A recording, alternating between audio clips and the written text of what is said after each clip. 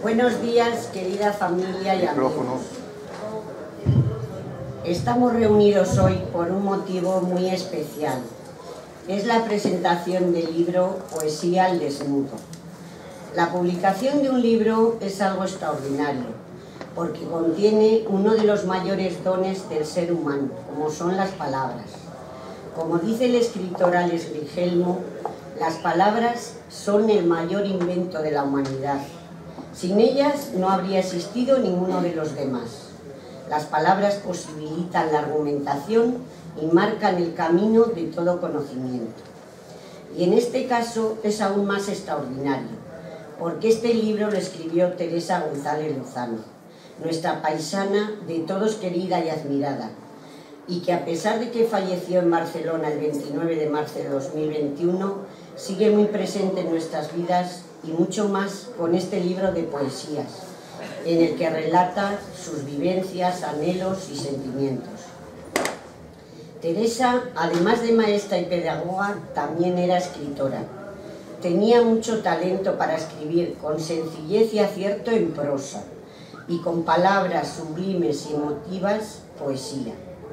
En sus poesías expresaba tanto querencias, sueños y nostalgias como su compromiso social y su implicación transformadora por conseguir una sociedad más justa y digna para todas las personas, con independencia de su origen o condición.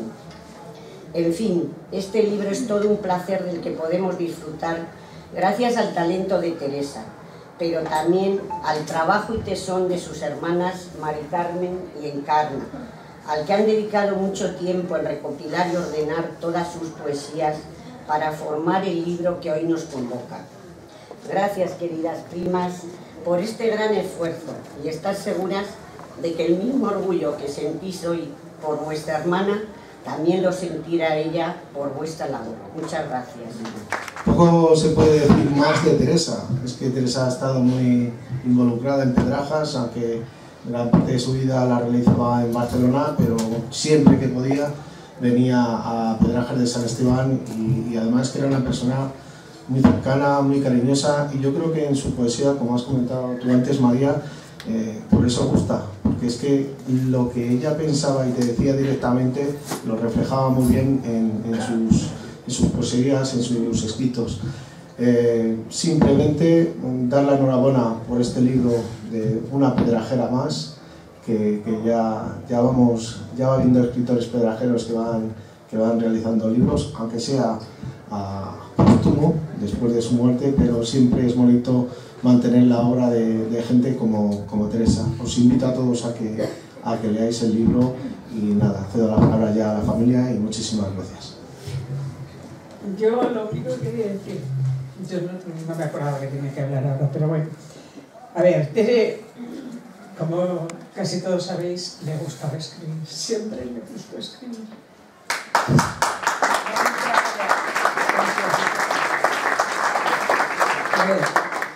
Eh, sus primeras poesías, la primera poesía que guardamos de Tere o que tenemos de Tere fichada es de 1987. Pero yo creo que antes ya había, ella había escrito, lo que pasa es que no las guardaba. Bueno, no le daba importancia. Le costó mucho eh, creerse que escribía bien, bonito y emotivo. Entonces, es a su regreso a Barcelona en 1900, que lo hizo en 1989, supongo que porque un cambio de vida, un cambio de, de, de domicilio, siempre quedas cosas allí y, quedas cosas, y encuentras otras aquí, es cuando realmente ella empieza, empieza a escribir. Y luego después, y, bueno, entonces ya las empieza a guardar y entonces, realmente es en ese momento, las que tenemos son a partir de ese momento.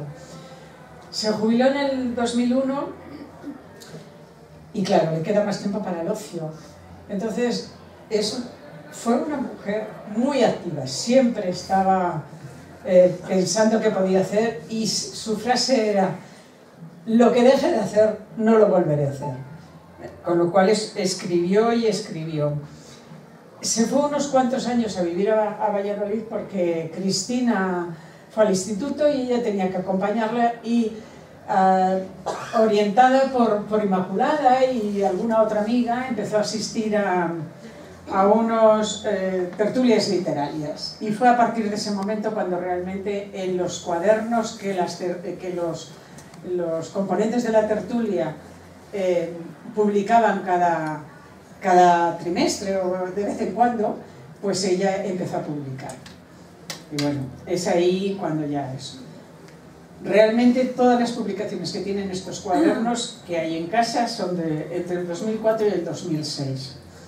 Ya sabéis que en el 2004 se unió a muchos de aquí y decidió hacer el grupo de poesía. Y a partir de ese momento pues se hizo no sé si dirigió, pero por lo menos organizó y estuvo ahí presente en todas las, las tertulias literarias que se han hecho en estos años.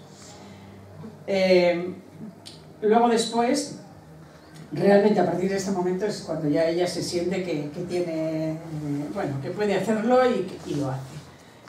Y es, estuvo, en el 2012 se tuvo que ir a Barcelona, se fue a Barcelona por, por sus problemas de salud y mientras estuvo, estuvo unos cuantos años que no hacía nada. Pero a partir del, de su trasplante en el 2014, perdonad que os dé tantos datos y tantas fechas, pero para mí son muy importantes y a lo mejor os estoy dando fechas exhaustivas. Es a partir del 2014 que le hacen el trasplante de riñón, ella se siente feliz y sigue es, escribiendo. Escribió siempre, hasta el final de sus días. La Navidad murió en marzo y la Navidad eh, que iba a diálisis tenía escritos, manuscritos, algunas de sus poesías que están en el libro, porque he puesto, hemos puesto absolutamente todos. Encontraréis algunos que no están tan elaborados, quizás y tal, pero hemos puesto todos. ¿eh? en el verano del 2018 ella viene, eh, hace ese, ese recital de poesía que muchos de vosotros sabéis que lo hizo y tenéis el cuadernillo, y es cuando empieza a pensar que tiene que hacer un libro.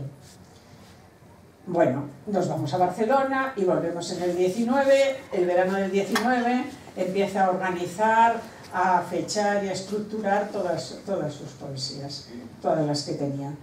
Y, pero en 2019 ya empezó a estar no muy bien y vino la pandemia y en el 2020 ya no pudimos y bueno, en fin, no pudo hacer su libro. Y como no pudo hacer su libro, nosotros, tanto Encar como yo, como Carlos, como Mari, que somos los que hemos estado ahí más, ha sido cuando pensamos que teníamos que hacer el libro de, de las poesías de Tere. Porque quedar las pues, todo, todo su trabajo que había hecho, dejarlo en casa, en, un, en unos folios ahí, que cualquiera los podía leer cuando nos los pidierais, porque eran, queríamos que los leyera todo el mundo, nos pareció que la mejor manera es hacer un libro y que cualquiera que quisiera el libro lo tuviera y lo pudiera leer. Entonces empezamos a, a trabajar y gracias a Carlos, gracias a Mari, gracias a todos los que nos han ayudado, porque ha habido otros amigos, Rosa, Víctor, que también, eso creo, Inmaculada, bueno, y otros amigos, Begoña, que también es importante, y, Jesús. Jesús, perdón, no, quiero olvidarme de nadie, si me olvido de alguien... ¿eh? Eh, bueno, entonces ha sido cuando... Nos ha costado casi dos años hacer el libro, con lo cual ha habido muchas... Pero bueno, por fin Aquí tenemos el libro de Tere y espero que os guste. A mí me emociona muchísimo. Cada vez que leo algo me emociona muchísimo. Espero que a vosotros os emocione. Espero que, la, que aquellos que la conozcáis, la conozcáis un poco más y los que no, la conozcáis un poco, porque cada uno, en cada uno de sus poemas ha dejado su alma, su estado de ánimo en ese momento, lo que ella pensaba en ese momento. Espero que disfrutes con el libro. Gracias.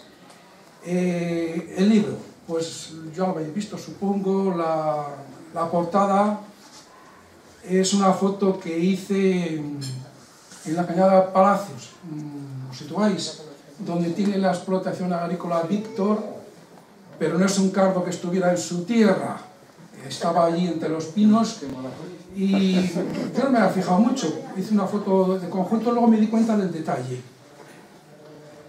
Buscando significados, eh, pues el cardo, la belleza del colorido que tiene, mm, en contraste con las, con las espinas. El color morado también tiene mucha simbología actualmente. Y luego casi no se ven, pero tiene ahí pulgón y eso que dice, bueno, que es útil también, ¿verdad? El título, Poesía al desnudo, hace unos años, en el 2018 creo recordar, en la feria de, del libro que se hizo ahí en la Casa de Cultura, ya Tere leyó poesías y presentó un cuadernillo que muchos de vosotros tendréis. Y lo tituló Poesía al desnudo. Entonces nos pareció que podía ser el título que valiera también para el libro. La contraportada tiene unas palabras que va a leer Rosa, que son suyas, eh, una parte de, de, unas palabras que escribió cuando murió Tere. Y por debajo la foto, también es importante, el, el camino de Sacedón, con lo que significa para Pedrajas y por lo tanto para Tere, y los pinos, los pinos albanes. Es una foto que hizo en, Canadá. Las solapas, una está en blanco, porque nos pareció que mm, a lo mejor iba muy recargado. Y la otra tiene una biografía de Tere, muy breve, hicimos otra más amplia, pero no cabía y al final pues decidimos que mm, pues, la foto suya. Y luego ya por dentro, vamos a ver algunos aspectos, y mm, vamos a ir dando parte a gente que va a leer alguna poesía. Y ahora sí que ya, mm, a modo de presentación del libro, hemos elegido unas palabras que escribió y pronunció Tere en ese acto que os digo yo, que tuvo lugar en, la Casa de Cultura en el año 2018 con motivo de la Feria del Libro. Y estas palabras pues las va a leer eh, su hermana Encarna.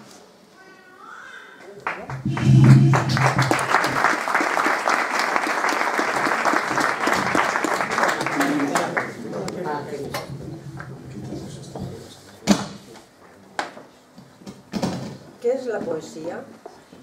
Dices mientras clavas en mi pupila la pupila azul. ¿Qué es la poesía? Y tú me lo preguntas. Poesía eres tú. Rima 11 de Gustavo, 21 de Gustavo Adolfo Becker. No, no se puede encontrar palabras más hermosas para explicar lo que es poesía y a la vez manifestar toda la belleza que encierra el ser humano como elemento permanente a la naturaleza. Porque la poesía es la pura expresión de la belleza, por medio de la palabra, ya sea esta hablada o escrita. En la vida abierta, por donde escapa la necesidad que, que tenemos de comunicar sentimientos y emociones sobre aquello que nos conmueve, es explicar el foco e iluminar para poder ver en toda su dimensión lo que hay más allá de lo llamativo, lo importante, lo grande o lo visible. Dejar espacio a lo pequeño, a lo que permanece oculto, a lo que siempre, simple, a simple vista no, no tiene valor, es importante, ni importancia. Sin esta expresión de lo bello, nuestro intelecto estaría incompleto, huérfano, no habría desarrollado de la misma manera la capacidad de sorprenderse, de, de pararse para volver a mirar las cosas esenciales de las que estamos rodeados y que casi siempre permanecen en un segundo plano. La poesía nació con las primeras, la primera necesidad de comunicación humana y, con la, y, ha acompañado ininterrumpidamente a lo largo de tantos y tantos años de civilización. A pesar de que el, que el del materialismo pugna por instalarse en nuestras vidas. No ha logrado derribar a la poesía, que hoy sigue, sigue viva por la voluntad de hombres y mujeres que la aman y la cultivan. Desde el gran respeto que me inspira la expresión de la belleza en cualquiera de sus manifestaciones, en especial la poesía, y mi admiración hacia los grandes poetas de todos los tiempos, vaya mi modesto grano de arena en estas líneas. Palabras escritas por Teresa con motivo de la lectura de, sus poemas del 18 de abril del 2018 durante la sexta feria del libro rural en Pedrajas de San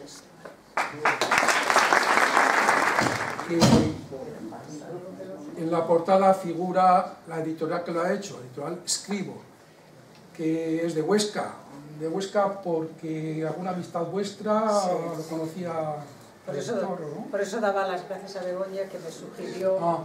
me sugirió eh, una editorial que unos amigos de Barcelona publicaban asiduamente eh, cosas en esta editorial. Yo les llamé, había hablado con otras editoriales y le llamé a este señor, a Carlos se y me pareció que tenía muy buen, era fácil comunicarse con él y entonces decidí que sí, que, que eso. Y ya fue digamos que el empujón para, para, hacer, para hacer el libro. ¿eh?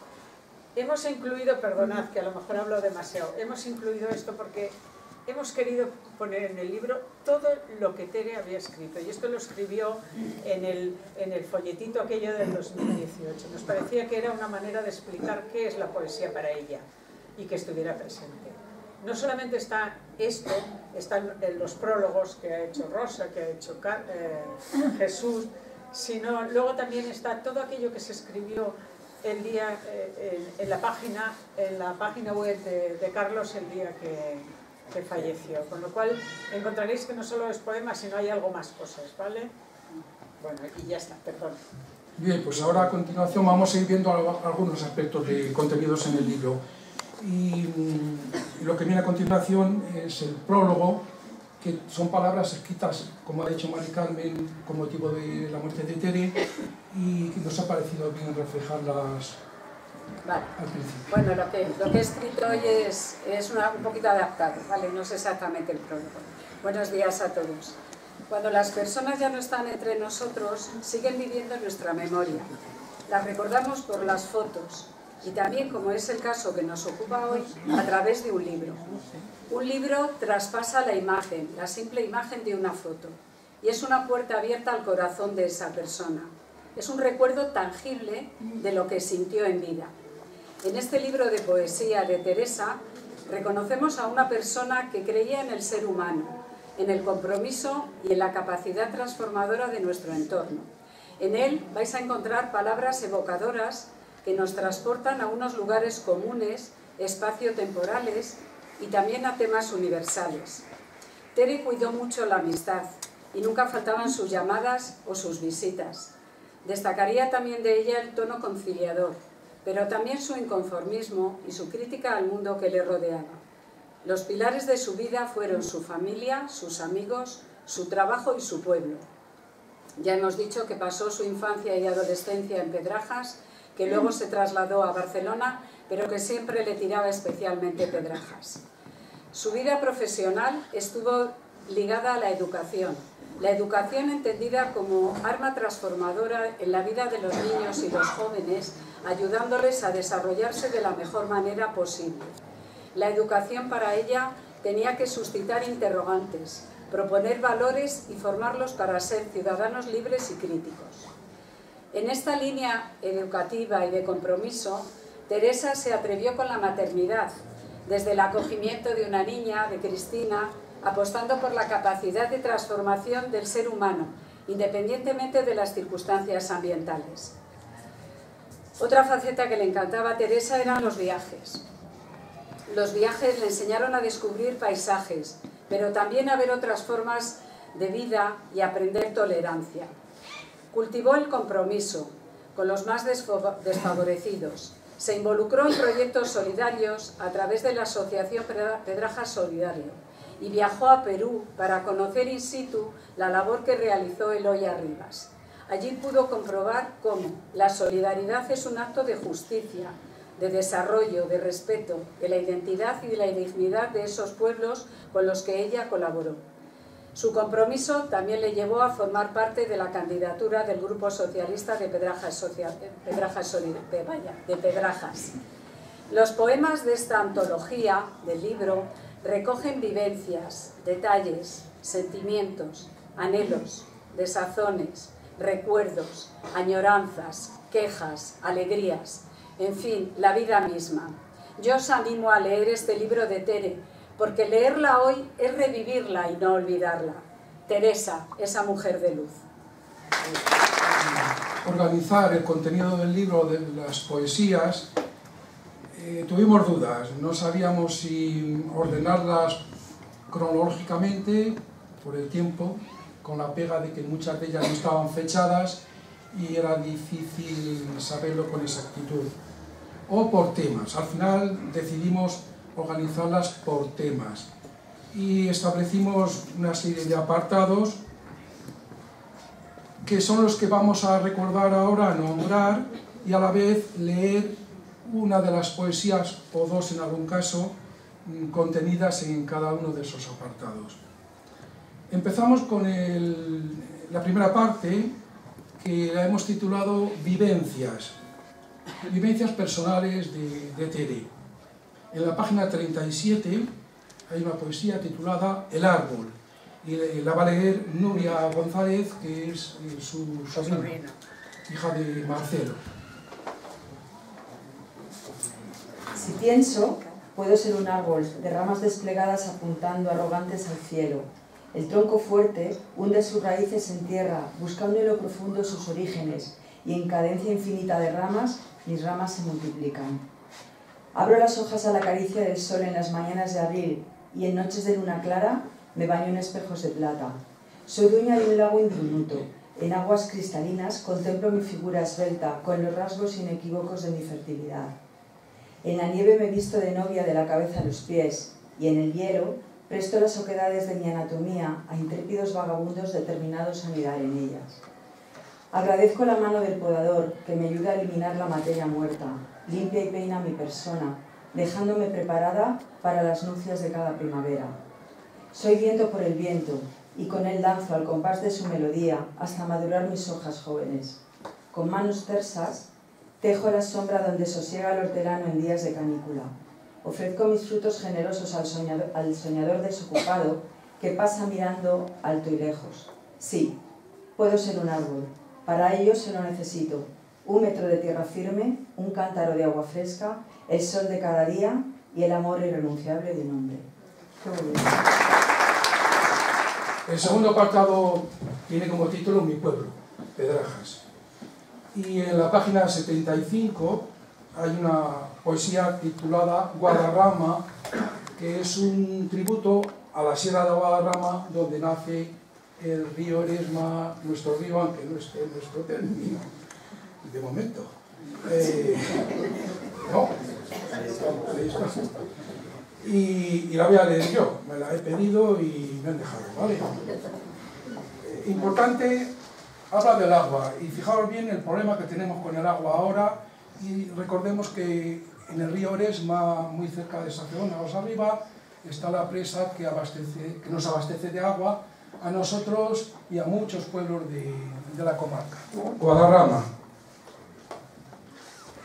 Desde el páramo diáfano, por entre campos de labor y el mar negro de pinos, percibo, oh Guadarrama, tu altivo perfil lejano, roto en aristas afiladas, vestidas de pelo blanco que sobre ellas dejaron las frías nieves aceradas.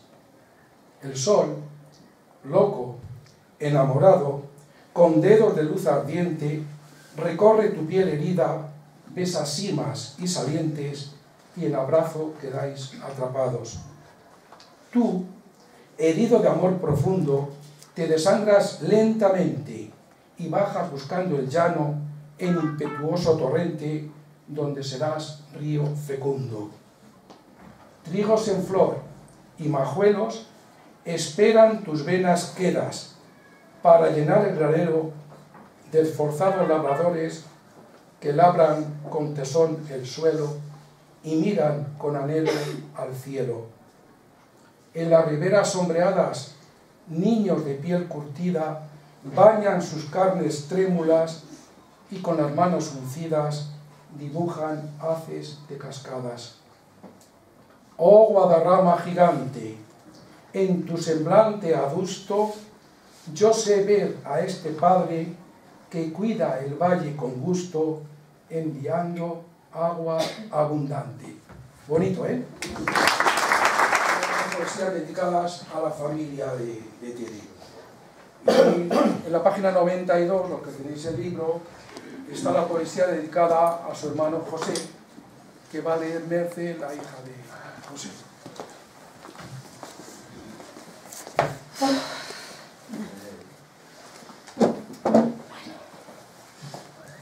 Con todo mi recuerdo, quisiera ser mariposa de infancia engalanada, mecida en las dulces notas de tus canciones de amor. Quisiera verte confiado, trabajando bajo el sol, piel bruñida por el viento en canícula lunares.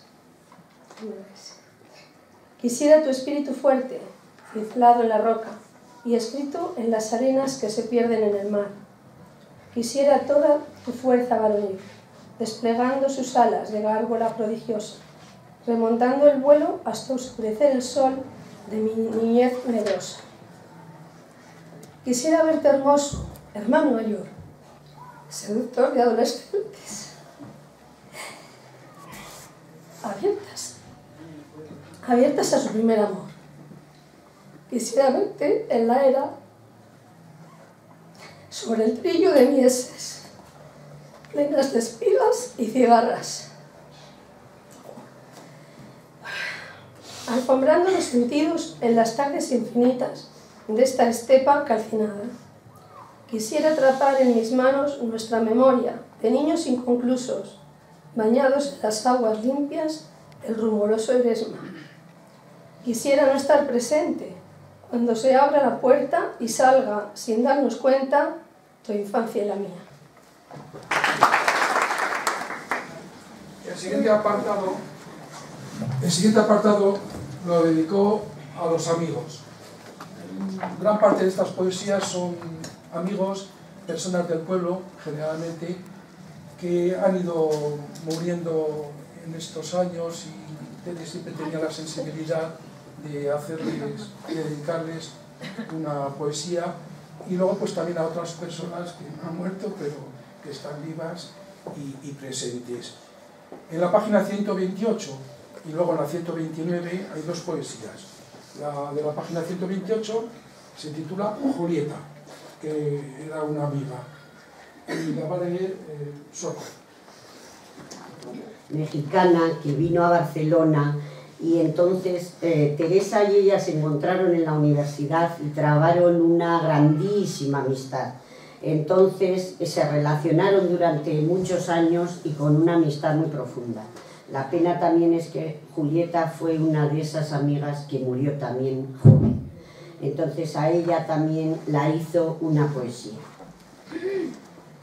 Bajo la sombra del pino añorado, sobre la silla vacía de tu mirada, yace el libro de tu vida acabada.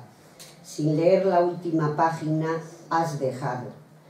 Ejércitos de abejas han libado de tus pistilos la savia aromada, en reparadora miel transformada la entregarán a tu mundo amado.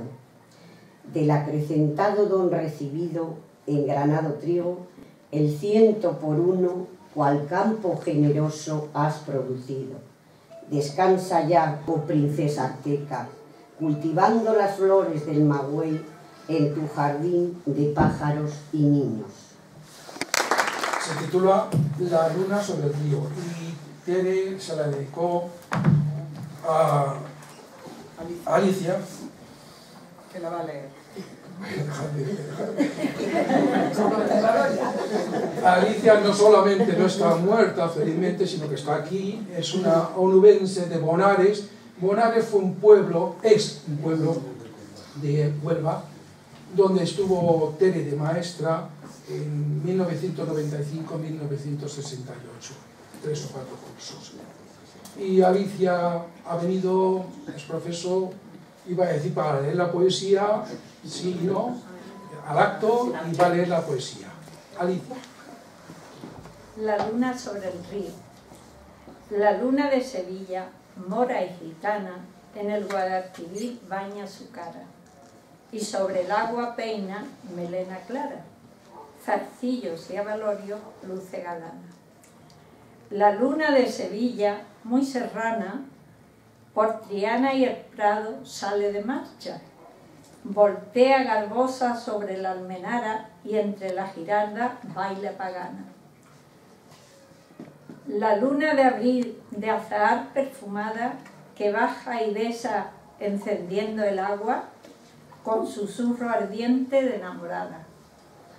No huyas tan deprisa en la alborada, que muere mi amor en ascuas de fragua cuando ronda quedito a mi ventana.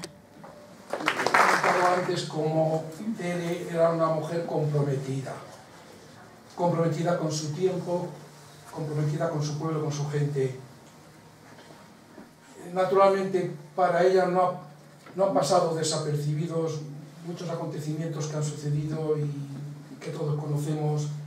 Le ha preocupado mucho la infancia, el maltrato a la mujer, la guerra, la violencia machista relacionada con el maltrato a la mujer, el problema de los inmigrantes que venían y vienen en los cayucos.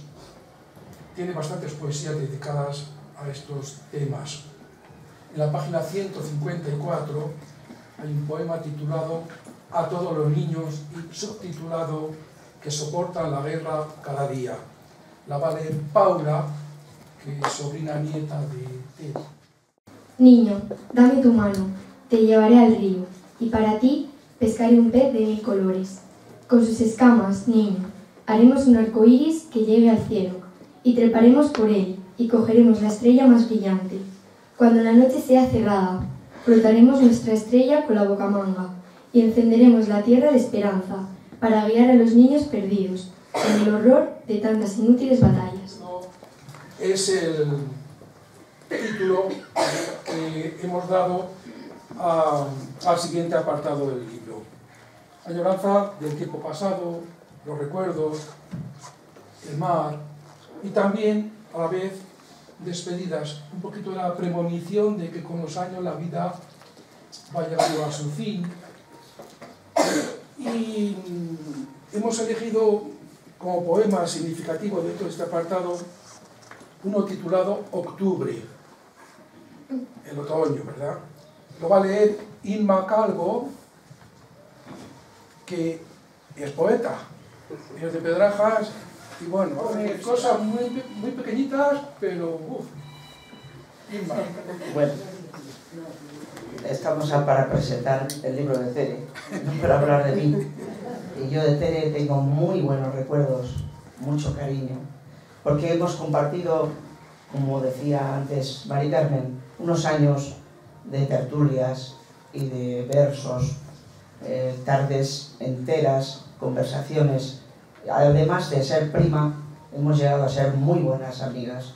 Yo le tengo mucho cariño, no digo lo que tenía porque le sigo teniendo. Y, es un honor que mis primas eh, Mari Carmen y, y Carlita se hayan acordado de mí para venir a hacer este homenaje, esta presentación del libro. Em, quiero decir también que en este libro, que es recopilación de sus poemas, nos habla del tiempo, de la entrega, de la dicha y del dolor, de los distintos colores que acompañan nuestra, nuestra senda. Nos dicen de la vida, de la búsqueda de la ya lejana infancia, pero también de la grandeza de la libertad, que los años transforman en quimeras imposibles. Tenemos, los que la conocemos y los que la, los que la queremos, la casi obligación de esparcir sus versos como semillas al aire para que llegue la esencia de su paso por la vida y seamos partícipes de su buen hacer. Yo he tenido la, suerte de leer un poema que a mí me gustaba mucho, que hablaba del, otoño, Eh, el otoño ya se refiere más bien, aunque habla de octubre, del otoño de la vida. Octubre. Me gustan las tardes de octubre, cuando el sol se dora y en los picos de Guadarrama, allá, a lo lejos, asoman las primeras nieves. Me gusta pisar las hojas secas que caen resignadas, cual gotas de entrega, con la promesa cierta de que renacerán en la savia viva de las hojas nuevas. Me gusta acariciar la rugosidad en la corteza gris del olmo viejo, cuando se han ido las abejas y comienza a sentirse solo y con frío. Me gusta el olor a uva madura, a vendimia, a lagar, a mosto, que lleva el recuerdo de mi infancia y el viejo y viajó conmigo en el largo recuerdo, camino. Perdón. Me gusta el zumbido de las avispas cuando pelean nerviosas en su postrero aliento, libando hasta la última gota el néctar de la fruta madura. Me gusta este recogimiento de la ribera que antes de la entrega definitiva celebra con gran fiesta, convocando al viento para que agite con brío las hojas que mueren ante la orgía del sol y en sinfonía de castañuelas cuando dora su ambés. Ya sé que solo se trata de una despedida. Pronto vendrá el manto que cubre el valle del recogimiento definitivo. Pero mientras llega, ¿por qué no brindamos? ¿Por qué no le despedirnos con un brindis y brindamos con el rico vino de la cosecha?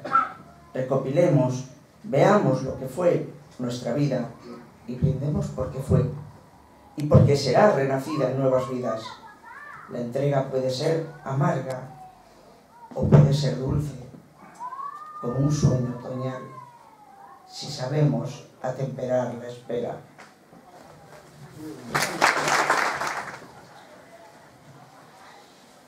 A mis niñas es el título del último apartado del libro se refiere a las sobrinas nietas, las más pequeñas de la familia. En la página 221 está un poema titulado Mi niña, que lo va a leer Encarna y que se refiere a una de sus nietas, ¿no?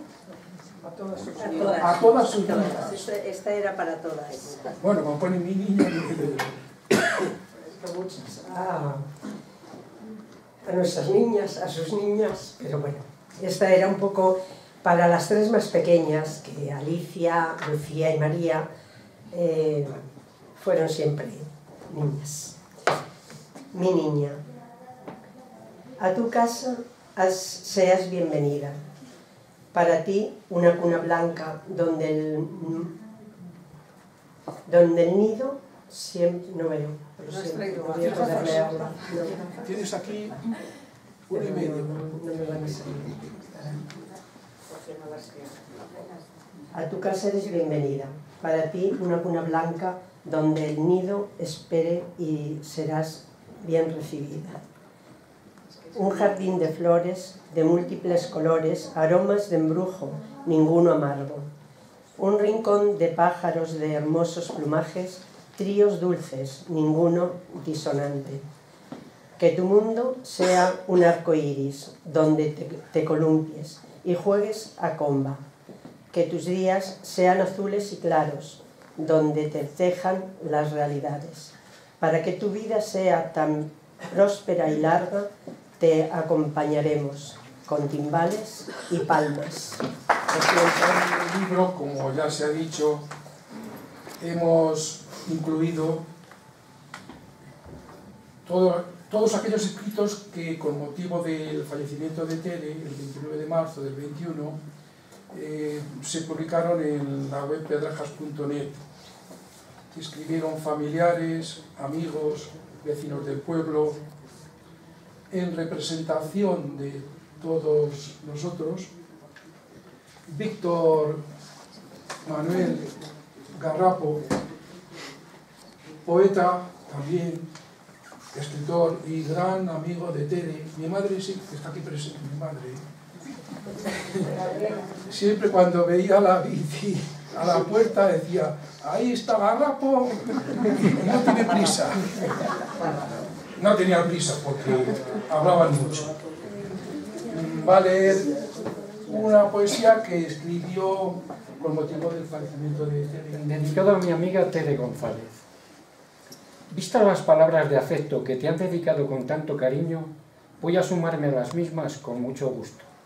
hacía tiempo que no lloraba y al conocer la triste noticia no he podido ni querido reprimir mis lágrimas. La poesía nos unió, ya lo creo. Nos hizo forjar una deliciosa y profunda amistad. La diferencia de edad nunca fue un obstáculo entre nosotros. Es lícito reconocerte tus increíbles dotes para adaptarte a los tiempos modernos, y eso que siempre insistías en que nuestro grupo, en los recitales, debía dar a conocer a la gente la vida y obra de nuestros poetas más clásicos. Aquellos los admirabas y al mismo tiempo te ponías al día en estar a la última. Podíamos hablar de cualquier tema sin problemas. Asimismo podíamos discutir sobre la forma de presentar y encarar los recitales. Bueno, más que discutir, discrepábamos amigablemente. Con tu permiso voy a tratar de emular a Jorge Manrique, a que también quisiste dedicarle un recital. Un río llamado Tere González, mi querida Tere, ha llegado a la mar. Hiciste fértil todo cuanto tocaste. Tus versos y palabras bellas nos acariciaban, saciando de veras nuestro apetito cultural. Timoneaste una barca solidaria provista de una honesta hospitalidad marchabas erguida, con viento en popa toda vela en pos de la justicia, pensando siempre en aquellas personas de cualquier lugar del mundo de mayor necesidad. Has cumplido con creces tu misión y por ello te mereces, Tere, sin duda alguna, descansar en paz. Los romanos, cuando una persona importante fallecía, decían que había vivido. Tú has vivido de verdad. En ciertas culturas celebran cuando se marcha un ser querido.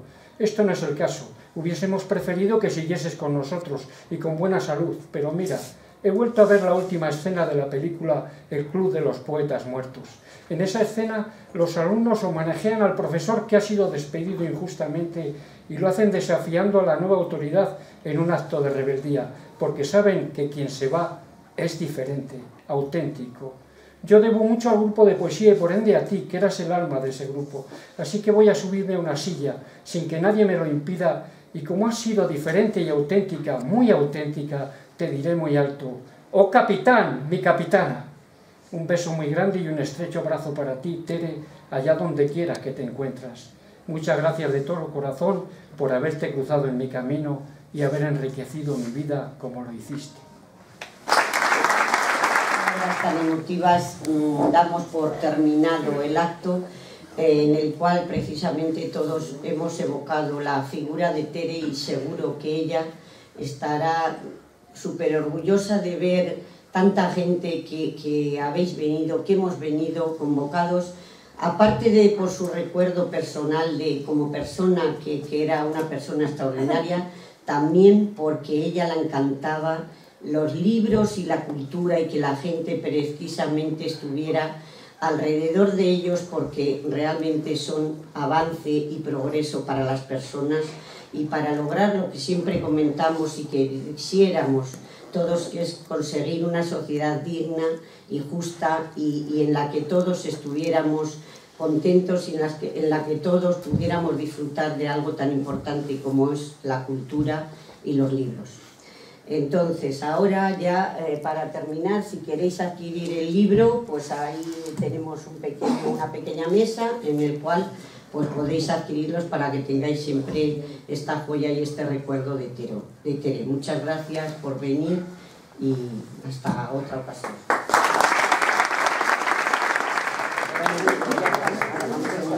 Gracias, eh. gracias a todos.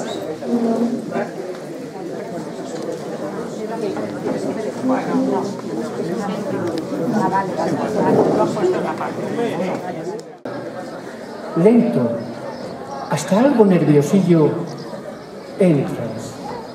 Ensanchas una preciosa ribera donde incluso cuando vas crecido te detienes, te arrodillas y tras bajar la cabeza, rezas. No puedes ver la ermita ni a nuestra querida Virgen de Sacedón. Te conformas con respirar el perfume de paz que desde ella te llega. Por la noche no te duermes. Con la suavidad del aire te relajas. Entonces sonríes a las estrellas y ayudado por la luna enciendes una vela. Ya de madrugada prosigues tu camino. Cuando cruzas los ojos de Badalba, notas en tu interior que te acompaña una sensación especial. Con humildad te unes a la daja. Después entregas tus aguas al Duero y por fin te dispersas en el mar. Parece el acabose. Pero de repente oyes una llamada de muy arriba y súbitamente vuelas y vuelas y ascendiendo no dejas de volar hasta que milagrosamente te reencuentras en el cielo. Desde allí te regalas un paseo por las nubes y más tarde aterrizas, aunque parezca increíble, en tu sierra, donde preparas un nuevo viaje como eterno peregrino que siempre y por siempre a Sacedón regresas.